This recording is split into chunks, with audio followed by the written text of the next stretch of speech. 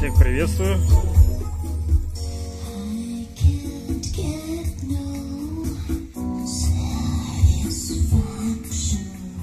Это играет радио джаз.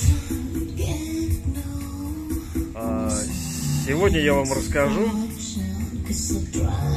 что можно поймать на FM диапазоне в Самаре, какие радиостанции у нас ловятся в FM